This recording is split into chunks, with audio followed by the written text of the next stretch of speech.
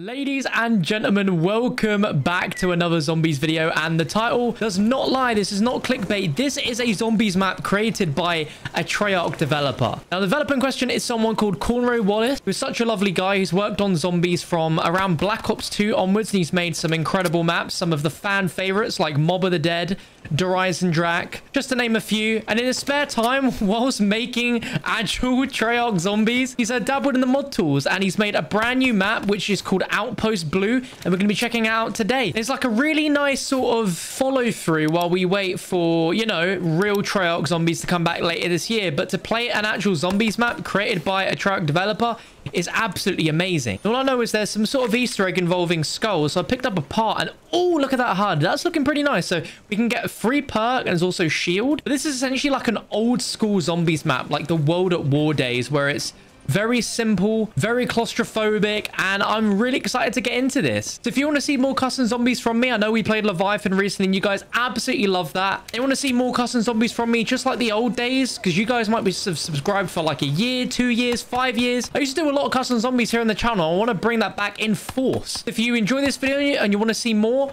please let me know in the comments below. If you don't want to write a comment, just feel free to drop a thumbs up. If you've written a comment and you want to leave a like, that would be absolutely amazing of you. I hope you guys are having a very safe and a happy start to your week or whenever you decide to watch this video. Oh, a nuke. Let's go. Let's go. All right, let's open up. See what we're working with. Oh my gosh, this looks so good. Like, seriously, this is like really cool ambience and, and, and atmosphere. There's clearly a lot going in. This gives me very like acidic, corrosive vibes, which I think this room is pretty much trying to give us.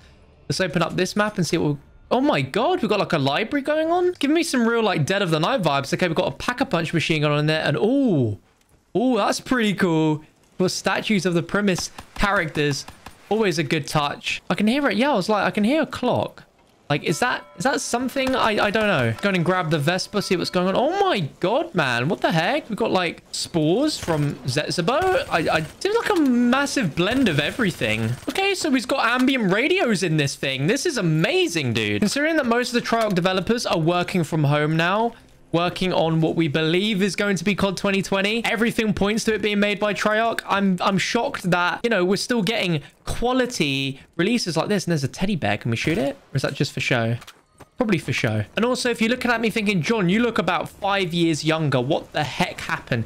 Yeah, some facial hair kind of just... It kind of fell off my face. but oh my god, look at this. Whoa, SOS help needed? That looks sick. I really think people underestimate and don't appreciate custom zombies enough. Like after like what happened with Leviathan and that's such an incredible remaster.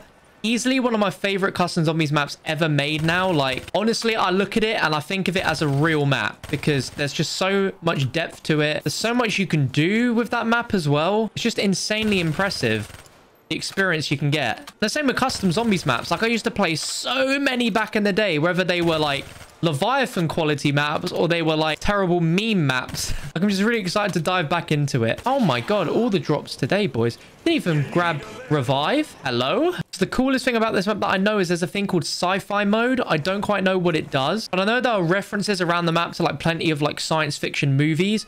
Oh, Cymbal Monkey straight away. You know, that's pretty good. Oh, we got the second skull right there. I have... Oh, Mark 3s! Hello! Honestly, I've not looked up anything about this map. I don't really know anything. But I know that will give us a free perk, so I'm very excited about that. Oh, we've got another part. Hello?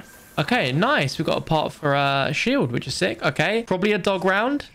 Probably the best place we want to be for it. If you guys remember, I streamed a custom map about two or three years ago, which involved a UFO that crashed. That was a map called Meadow, and that was also made by the same guy, James or Cornrow Wallace, that made this map. Okay, we've got the lovely 2,000 points, so let's open up and see what we've got going on inside here. Okay, so we've got all the shield parts built, so that's pretty cool. There are tons of teddy bears around. Proper old school vibes, you know. Oh, there's the power switch. Lovely stuff. Does it make the map any brighter, though? Doesn't look like it does. Oh, hello. Hung out of the phone?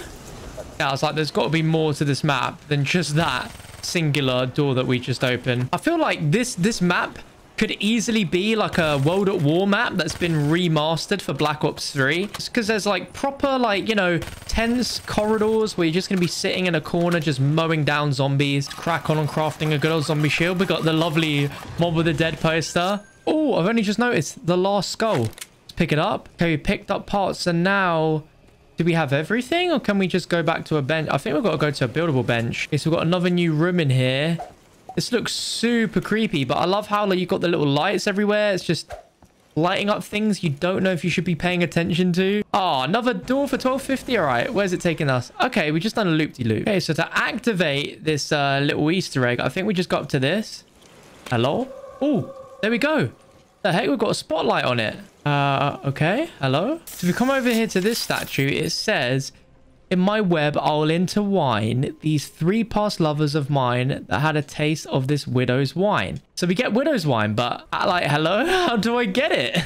Oh, so I'm an absolute idiot. There's more than one statue.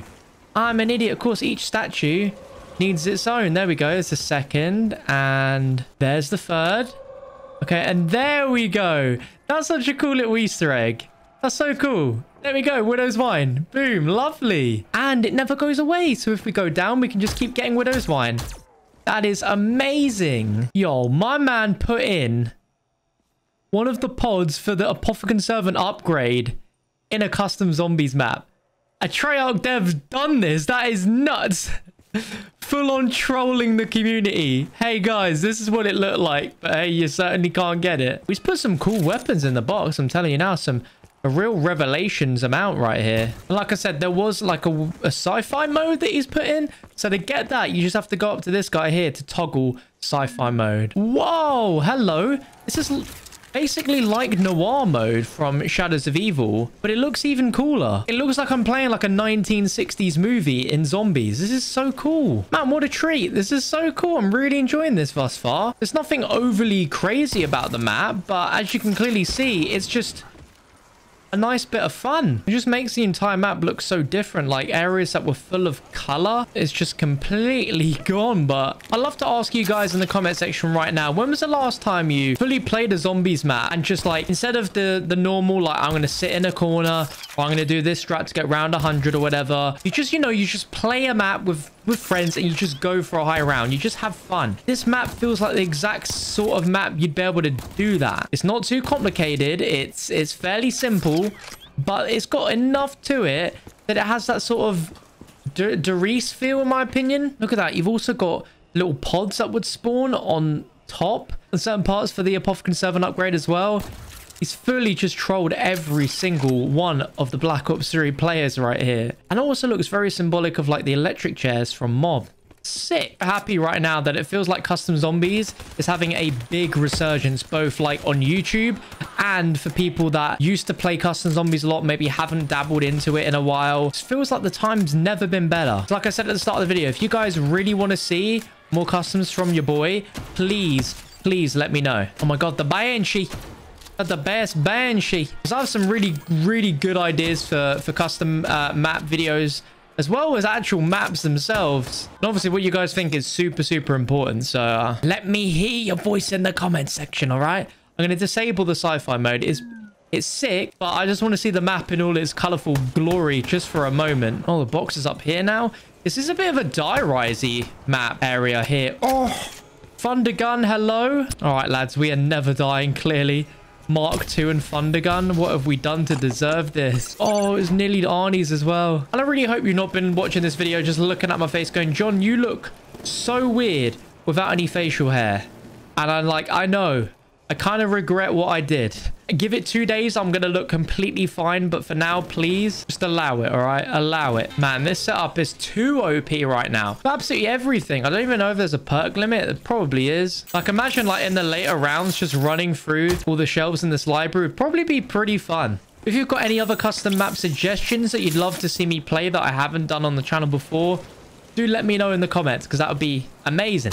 Do you hear that, man? He just mentioned something about an alien abduction. Go to the infirmary. I think I'm okay, thank you. I've seen some people get to like round 50 plus on this, which is insane. So we could very well attempt this, but we'll be here all day and all night otherwise. That's going to about round it up for this custom zombies map, which is called Outpost Blue by James Cornrow Wallace, a zombies dev at Treyarch. Massive shout out to James if he's watching this video. Hope you're good.